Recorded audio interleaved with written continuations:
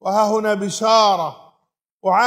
أعجل فيها لمن مات له أخ أو حبيب أو جار أو قريب أو إنسان بعيد لكنه مسلم.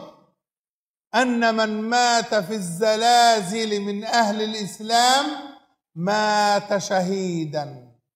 فالهدم شهيد كما قال النبي عليه الصلاة والسلام. والزلازل هي أعظم صور الهدم.